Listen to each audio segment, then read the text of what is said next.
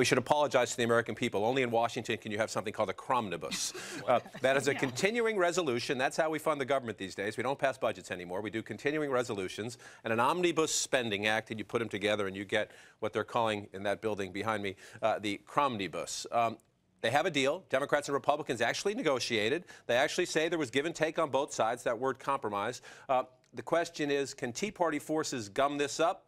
And will the government shut down? This morning it looks like no. Maybe they'll gum it up for a day or two, but the government will stay open. Yeah, there were a lot of questions. The Tea Party also questions about whether Nancy Pelosi uh, would get behind this. She has said uh, that she she probably will be able to. She hopes that she'll be able to. Uh, so it looks like all those fights that we're so used to uh, in the 11th hour and delaying our Christmas and holiday plans, uh, it looks like so far they're they're able to avoid, avoid it. We'll have to see what happens over these next Remember, hang on just one second. Remember, the Democrats still run the Senate. That will change in January, but for the next couple of weeks, the Democrats still run the Senate. So in these negotiations, Republicans said they needed some things to get their votes to support it. Here's a couple of things it does. There's no funding for D.C., the District of Columbia's new marijuana law. The Republicans say, no, we're not giving D.C. any money to implement that policy. Uh, it loosens the school lunch requirements. This is a key Michelle Obama priority uh, to require more healthy school lunches. It does allow states and local school districts to opt out of some of those requirements more easily, uh, so Mrs. Obama won't like that one. And it dramatically eases campaign finance rules that allows even more money.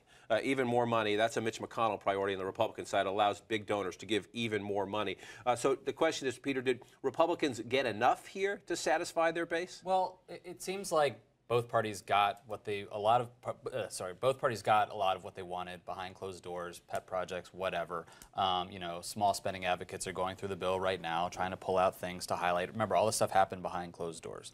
Um, the issue here i think is immigration reform. We are just talking about um, will tea party forces d- get enough to shut down the government or not shut down the government?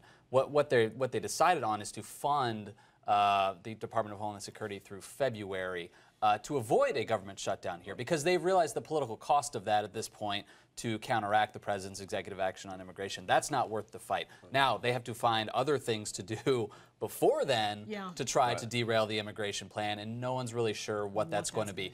yeah. Um, all that said, other than that Homeland Security funding and that immigration spat, both parties here seem to agree that this cromnibus is, is agreeable through the, the beginning Keep of the the year. government keep the government funded for most of next year. The Republicans want to revisit the immigration debate early next year. We'll see how that one Yeah. goes. They think there'll be more Republicans. It'll be good for them.